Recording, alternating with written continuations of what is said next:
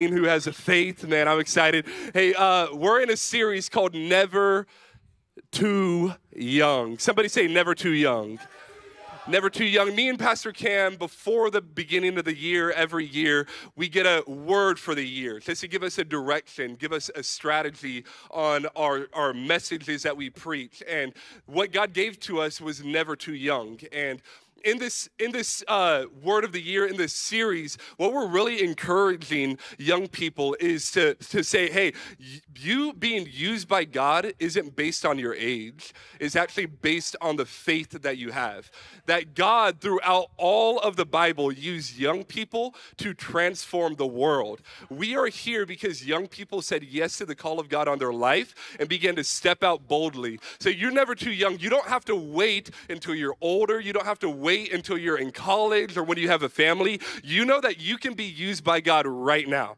Do, do you know that? You don't have to wait until everything's perfect. You don't have to have the whole Bible memorized. You don't have to be the best at communication. No, you can be used right now right now. And I believe that in this series, it's, it's really helping young people to know that God actually wants to use you. And, uh, and we're going to continue it tonight. And tonight, the focus is you're never too young to train for battle.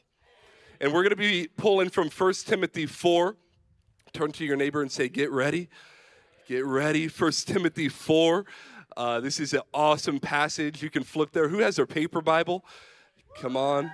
Come on, the real Christians. No, I'm kidding. I'm kidding. Who has their Bibles on their phone? Come on now. Oh, hey, I love technology. You can turn on your Bibles. If you don't have the Bible app, download it, uh, read the verse of the day. Uh, it's free. Come on now. 1 Timothy 4, verse 7, it says, Have nothing to do with godless myths and old wives' tales. Rather, train yourself to be godly. For physical training is of some value, but godliness has value for all things, holding promise for both the present life and the life to come. This is a trustworthy saying that deserves full acceptance. That is why we labor and strive, because we have to put our hope in the living God, who is a savior of all people, and especially of those who believe. So, we're talking about training for battle. Have you ever been unprepared for something? Um, I have a tendency to be unprepared for things in life. Like in ninth grade, I had to take algebra twice uh, because I was unprepared for the test. And uh, so I would just guess through all the tests A, A, B, C, C, C, C. Uh, that's C too many times, so it's probably not C. It's probably B. You know what I'm saying? I was unprepared for the test, so I would just guess on everything, and I failed because I didn't. I didn't prepare. Uh, uh, also, I whenever I first started driving, uh, I was unprepared, and uh, I thought you uh, you went, you press the gas with your right foot, and you bro- you you press a brake with your left foot. And uh, i almost killed me and my mom as i'm driving down the road because i was unprepared. Uh, one of the worst times that i've been unprepared was whenever i got into my first fight um, I was I was unprepared. I was uh, in fifth grade in recess, and uh, I, I you know I got into an argument with the wrong guy, and I was feeling a little bit confident, and I was like, "Hey, meet me by the flagpole after school, bruh." I looked at him straight in the eye, and I walk away, and I was like, "Oh my gosh!" My heart dropped into my stomach and I was terrified. You know, I was walking through school. I was so nervous. My knees were weak. My palms were sweaty. My arms were heavy and there was vomit on my sweat. Um, I, I was nervous and, uh, and I, I didn't really know what to do. I didn't know how to fight. And I'm going through school, and finally, the dreaded moment came when the bell rung. And it was the end of school. And I'm making my way towards the flagpole. He's making his way towards the flagpole. And we're standing there surrounded by dozens of people. And, uh, and they're encouraging us fight, fight, fight. And I'm thinking to myself, yo, I don't even know how to fight right now, but but I make my way towards this kid. I put my arms up. He makes his way towards me, and as he's getting closer, he brings his fist back and punches me right in the face. And I knocked down on the ground, and I ran home to my mommy and cried all night.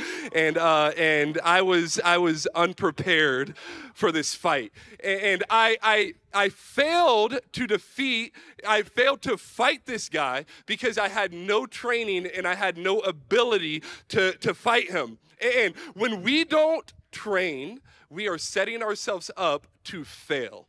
And we train at everything that we want to be good at. You train if you want to be good in education. You read your books, you take your tests, you you quiz, you're trying to get into that college, so you do everything you can do to train to be good at something. You you train whenever you're trying to be strong. You go to the gym, you know you eat the right foods uh, you know you you take the protein shake you, you do whatever you need to do to get better at it so that you, you are training. If you want if you want to be smart if you want to do anything in life we train at it so that we can get better.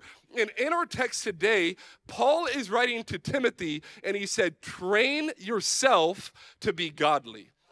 Did you know it's important for us to train ourselves to be godly it, it, it's not going to happen naturally. You turning godly doesn't just happen. A- actually, in fact, the opposite is true.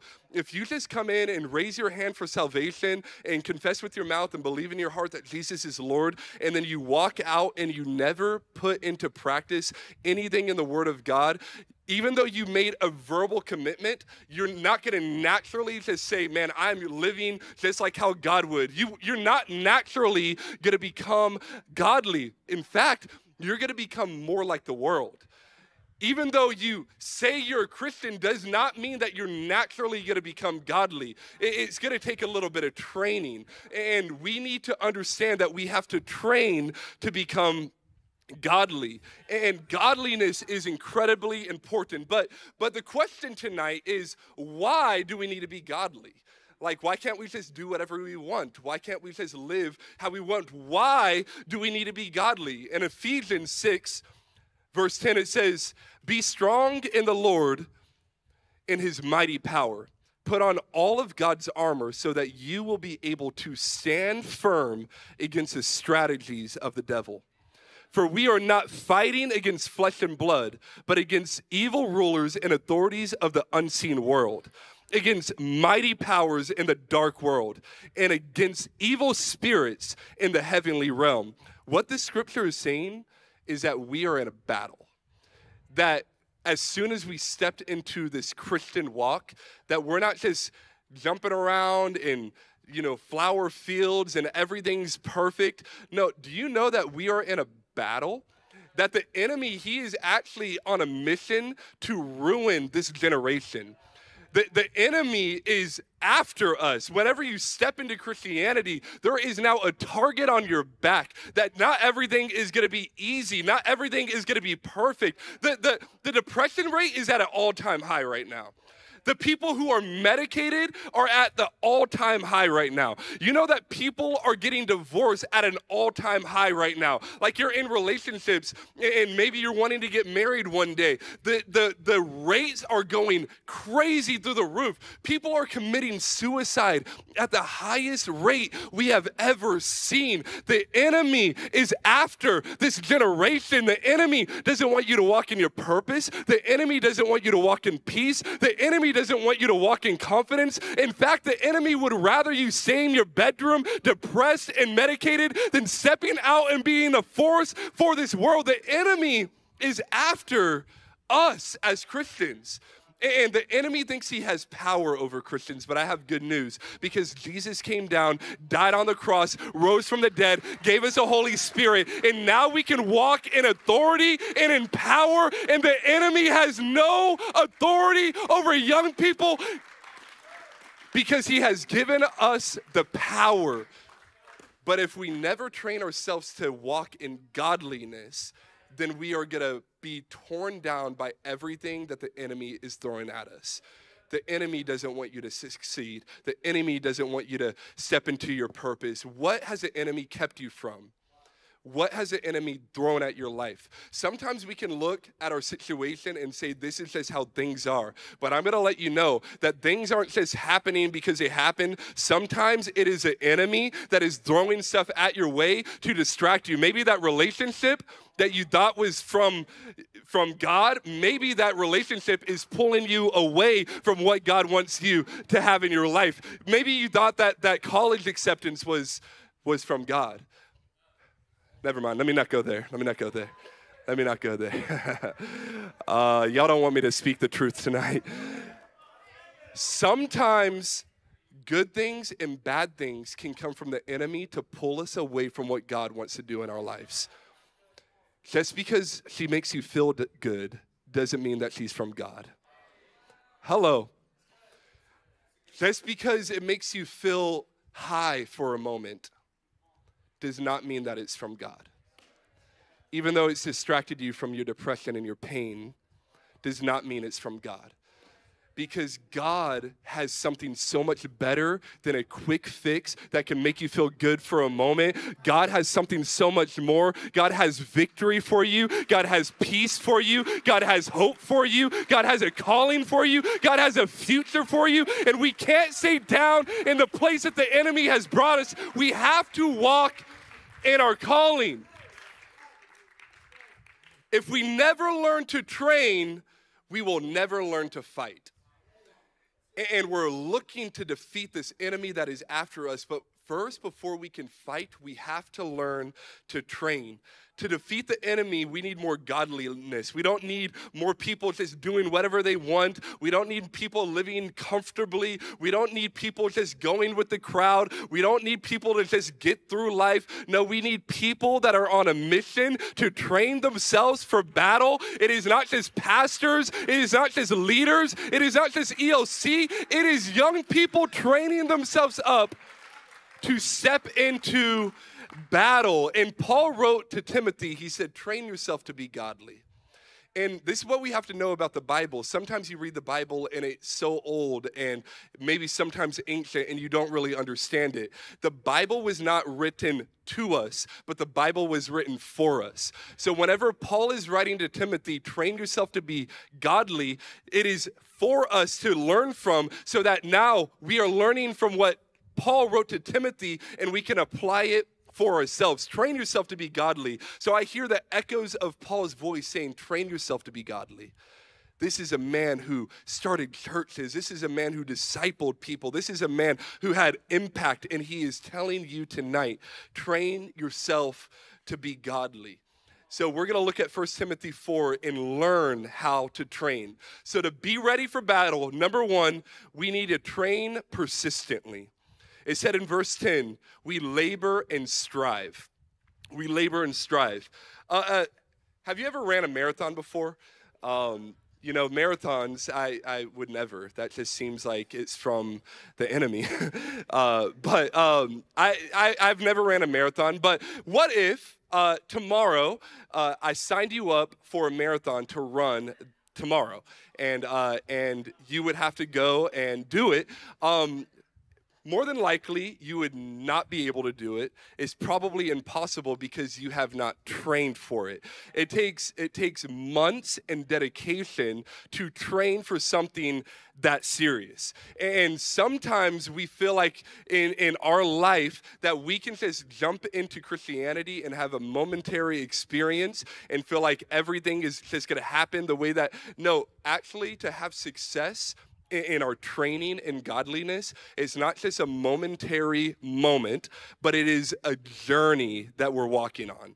So you may not be fully godly, you may not look like everything that God has for you right now but this is this is a journey. I'm going to be serving god until i die and whenever i'm 95 and i have multiple grandchildren i'm still going to be loving god. I'm still going to be having purpose. I'm still going to have passion because this is this is not just for your teenage years. This is this is for a long time And if something comes against you that is just a, a, horrible time, and then you just walk away from God, you are doing a disservice to your call because this call is for a long time.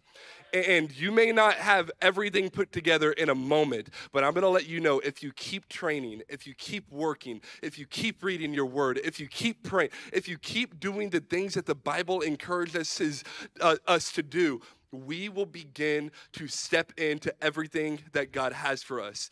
Devote yourself to the journey, not to just a momentary decision. In Galatians 6 9, it says, So let's not get rid, or let's not get tired of doing what is good. At just the right time, you will reap a harvest if you do not give up. And I'm going to let you know there are times that we want to give up. There are times that things are hard. But I'm going to let you know you got to keep coming to church. You got to keep being in community. You got to keep reading your word. You got to keep doing what you need to do because what you are looking for will come. And whenever I first became a Christian, I was super confused. Uh, people were raising their hands and they were screaming at the top of their lungs in worship, and they were reading this book that I had zero idea about. Like, I, I was trying to read Psalms, you know what I'm saying?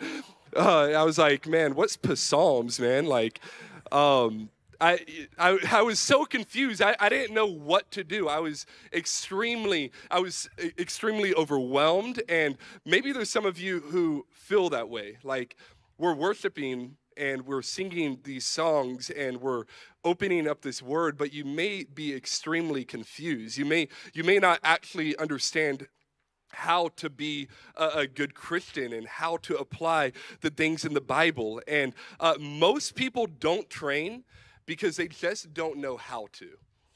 They, they are a little confused. They're, they're like, man, what do I do? Where do I start? Do I start reading at the front of the Bible? Do I start reading at the back of the Bible? Do I open it up to the middle? Where do I start? And, and we feel like it's unrelatable because it was written thousands of years ago and we're confused. We're confused. So instead of us training at all, we don't because we're confused. And has anybody ever been confused about Christianity before? It's like it's like the blood of Jesus. It covers us. It's like how does it cover us? He died 2000 years ago. His blood is not even here. How do I get covered by the blood of Jesus? And you know, we're in sin. What is sin? And sometimes we can be extreme. Can I be a little practical tonight? Um, these are real things. I, I, meet with people all the time. These are real things. People ask me questions and they're confused. And if you never give training a chance, you will never grow into godliness. And I'm going to let you know it may be confusing right now. But this is the most beautiful journey you'll ever be on in your entire life. This will set you free. This will help you. This will help your marriage. This will help your future family. This will help your future career. And it may be confusing for a moment, but it's worth it. It is worth it. It is worth it. Wow, the piano's already here. Now I'm going to sound really spiritual. To be ready for battle, we must number one, train persistently, and number two, train properly. The context of this scripture is Paul writing to Timothy. Paul was an older, versed apostle who has gone through a lot of seasons. Timothy was a young leader and Paul and Timothy had a relationship. They had uh, really the, the relationship was a mentorship relationship. This was something, someone that Timothy would learn from. This is someone that he would he would get knowledge from and wisdom from. This Paul was writing to Timothy. And so my thought is a lot of the times we don't train because we don't know how to. And we need to be like Timothy who learned from mentorship.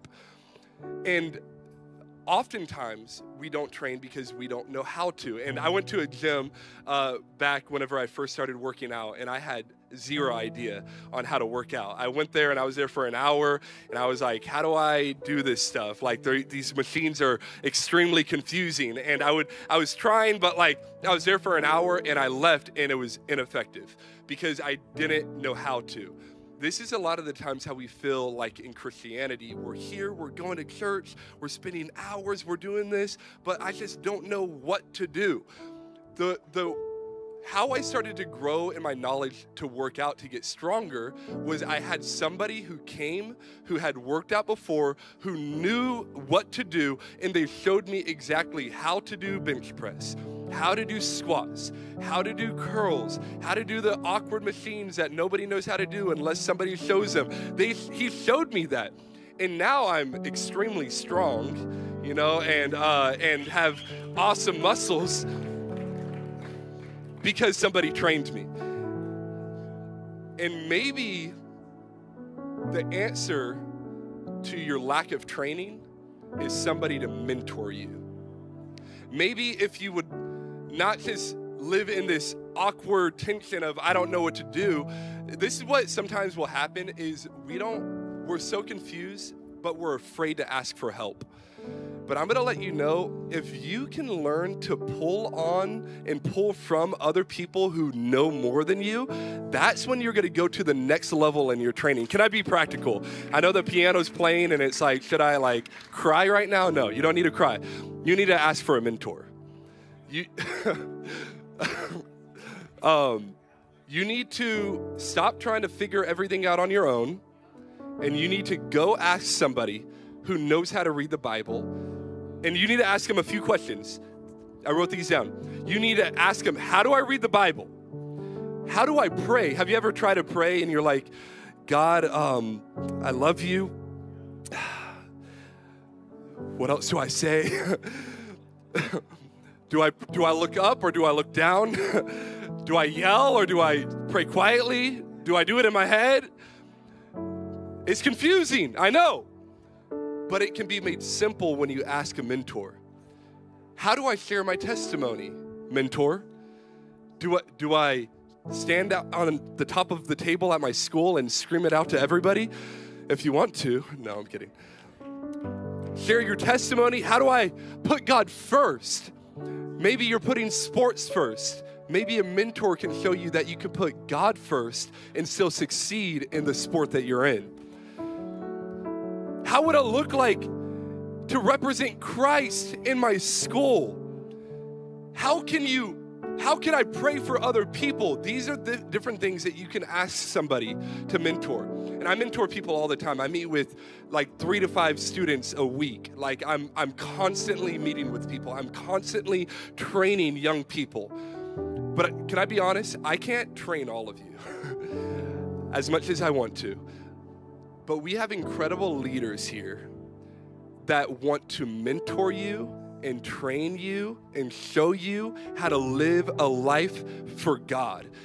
And it may feel awkward at first, but it is the most important thing. Whenever I first became a Christian, I had no idea. Somebody asked me, I was at a small group, and this guy named Keon was like, Hey, Ryan, can you read John 5? And, uh, and I'm re- flipping in, in uh, Genesis page by page, trying to find the book of John. And uh, the kids in the room laughed at me. But Pastor Keon taught me. He was like, Hey, this is how you find the scripture. This is how you read. This is how you pray. This is how you live consistently. And I am a product of his mentorship. And I'm going to let you know that there is, in this journey, you looking back in 10 years, you're going to say, Man, I am who I am today because of that ELC leader. I am who I am today because of that leader who showed me how to read. I am who I am today because if you're unprepared and you go off to college or to a career and you never know how to do it now, you're going to miss out on the opportunity to grow in it. So I'm going to let you know find a mentor, please. Please, for me and for you mostly for you.